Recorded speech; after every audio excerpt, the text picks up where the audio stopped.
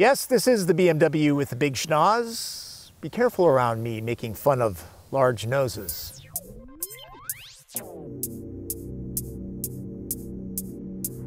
There are those days when you just want to escape it all. Jump off the interstate and find a challenging, winding road to enjoy. Have some fun, clear your head. Looking for the right tool? Here's a solid choice the BMW M440i xDrive Coupe. That's quite a name. It's quite a car with quite a nose. The 4 Series beak is the talk of the town, but let's put the controversial face aside for now because the 440i has a lot going for it. The grille is not the only thing that's grown. The entire car is larger now. Compared to the outgoing 4 Series, this one is some 5 inches longer, an inch wider, and a half an inch taller.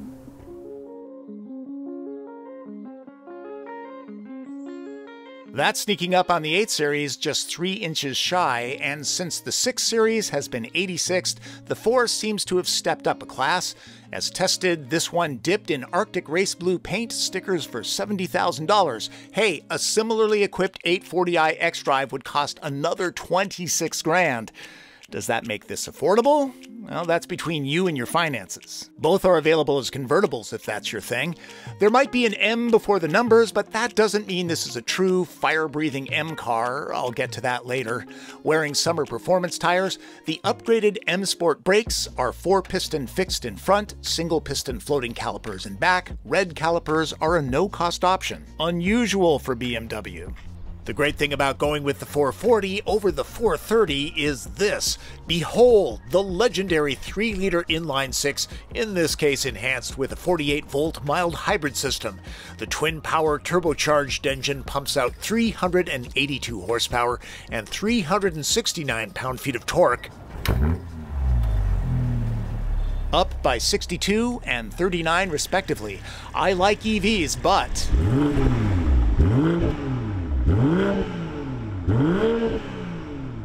That is a sonnet that can't be sung by those. The head-up display is much larger than this when projecting navigation directions. I don't like joystick controllers, but BMW's 8-speed transmission is bliss when swapping cogs. Into manuals, uh, move up to the M4 for that. And there are drive modes. Honestly, if you can't tune the 440 to your liking with all of the options the Bavarians provide, well, maybe consider counseling. It might be covered by your health insurance. Hybrids, not known for performance. This is a mild hybrid and it is BMW's inline six. It can scoot. There's launch control. The company says it'll do the 0 to 60 dash in 4.3 seconds. I think it's being conservative. And that inline six, plenty of passing power, and it just sounds great. Never overwhelming the ears, it's quiet enough for a road trip with the right sounds sifting through. Downshifts are a thing of beauty. Everything about the 440 is calibrated precisely to maximize driving enjoyment. You'll lose yourself in the road. From behind the wheel, I never once gave the grill a thought. This isn't a dual clutch, so it doesn't have eye blink shifts, but they're quick enough and the programming is excellent, almost telepathic. Uh, literally, it uses GPS to read the road ahead, telling the gearbox what to do. When not actively needed, the all wheel drive system sends all power to the back rubber. The standard M Sport rear differential improves traction by equalizing the torque sent to the left and right rear wheels under acceleration. BMW no longer has a monopoly on great handling cars, but gotta say, this vehicle on a twisty, turny road is mucho fun. It just kind of plugs into your synapses. You know everything that this car is doing. The effort of the standard variable sport steering builds nicely with speed, maybe a little light. Ever driven a car that, when glancing down at the speedometer, shows you've creeped up way over the limits? Uh, that's the M440i. And the M4 might have performance bragging rights, but it's hard to use the full lofty potential of the 440 on public roads. Time to check out the enhanced M brakes. those are very good. Excellent modulation, great stopping distance. Because it's a mild hybrid, the engine can shut off at 8 or 9 miles an hour when coming to a stop. It's all unobtrusive. The overall fuel efficiency is rated by the EPA at an average of 25 miles per gallon on specified premium fuel. That's not Prius efficiency, but uh, this is certainly a lot more fun. There's a noticeable, tangible difference when it comes to the drive modes. In comfort, yeah, truth in advertising. In sports, it definitely firms things up. It's not teeth rattling, but you'll definitely feel more of the road. Overall, a very good dynamic. For everyday motoring, BMW now has a decent suite of standard active electronic safety tech, like automatic emergency braking with pedestrian detection, lane departure and blind spot detection, rear cross traffic alert, and automatic high beams. This one is equipped with the optional Driver's Assistance Pro package. Semi-autonomous driving features in this car are excellent. It has a very good lane keep assist that will take gentle corners with your hands off the wheel. And it even has automated lane change. So if you hit your blinker, it'll move on over in case you're just too tired to do it yourself. Hey, even if you enjoy driving, sometimes a little help is appreciated. The cockpit is classic BMW with high quality materials and craftsmanship. Then again, this is a $70,000 car. It's polite on entry. This pattern is perfect for the high tech nature of the 440i. Door releases have a solid, hefty feel. Newly designed seats have just the right amount of bolstering to keep pilots planted in hard maneuvers. They should fit everyone well. At this price, they're heated, as is the wheel. This is the standard backup camera view. The optional advanced parking package, which is not on this car, the one with the 3D and bird's eye camera view, has a feature that will remember the exact path that your car has taken the last 50 yards under 20 miles an hour. And then when you go to back up, it will recreate that path. Really good for narrow, windy driveways. Low tech stuff you'll use every day. Uh, there's a bunch of storage cubbies scattered all around. Organization is a thing in the 4 Series. Wireless charging is perfect since wireless Apple CarPlay and Android Auto capability are standard, and no, you don't have to pay for it. Controls are logically organized and grouped. BMW owners will be right at home instantly. That's right down to the iDrive user interface. That's a touchscreen with the classic button and knob group. I can't think of an input option it misses, right down to gesture controls and handwriting recognition, which I find works pretty darn well. You may not even need the physical controls because the casual voice prompts in the BMW are really pretty good. Hey BMW, I sure could use a good burger. Which one of these restaurants should I select? Uh, number one. Perfect. Our next destination Perfect. is Red Mill Totem House. BMW knows its stuff. This is a good place. Uh, hey, BMW, my butt is cold. I'm setting the seat heating on the driver's seat at level 1. Casual voice control, indeed. There are belts for two back here, at least BMW's being realistic that way. I'm five foot nine. I have that much headroom, just enough. Cushions are high enough so that thigh support is actually okay. Footroom, kind of on the tight side, but really the space is not horrible. If your friends are going to complain, tell them to get an Uber. I'm not surprised that Evil Twin didn't show up. He probably thought coupe means torture chamber. He's kind of a prima donna.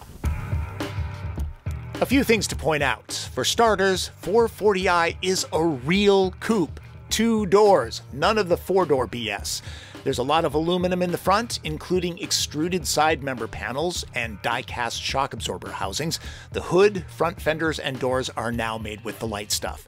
Buy the $3,700 executive package. It adds these awesome GPS active headlights that focus blue laser light through yellow phosphorus for brilliant illumination.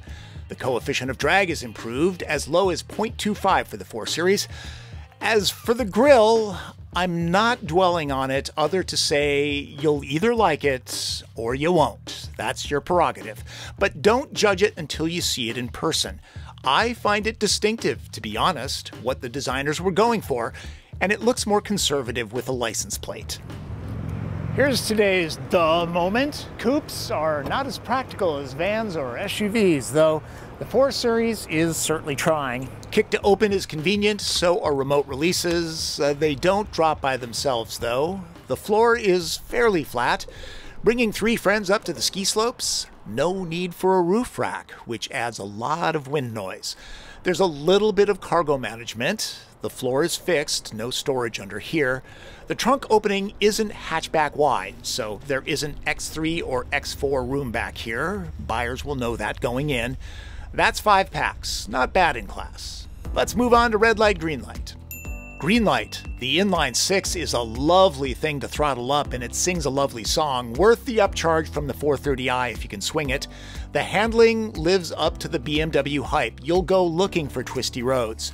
Stuffed with easy to use technology, from voice commands to safety to laser headlights, it's not just advanced, it adds to the driving experience. And the cockpit is a great place to spend time, especially with the supportive seats. Yellow lights? Uh, no, I'm not putting the grille in red light. It's distinctive, and the world needs some of that. I like the overall lithe design of the 4 Series, but miss the more defined lines of the outgoing 4. The back seat is actually okay for humans, but a 3 Series will always be the more practical choice. Red light. Like almost all BMWs, it uses run flat tires, which can be problematic in some situations. Ask me how I know. The trunk isn't overly useful, but that will be obvious to buyers. Would I like a panoramic sunroof? Yeah, but now I'm just getting desperate to criticize. As far as price goes, 70 grand for the M440i isn't cheap, but it's a bargain compared to the 840i xDrive. Not sure there's $26,000 worth of style and performance happening with that two-door, though the 8's grille is more subtle than this. There's all this chatter about saving the manuals, but this car isn't available with the manual transmission. But it is a coupe, and those are in danger too, so you can save the coupes, and you'll have a good time doing it. You can row your own in an M4, but face it, the M440i xDrive hits the sweet spot when it comes to no compromise driving fun and everyday use. Just add a good road.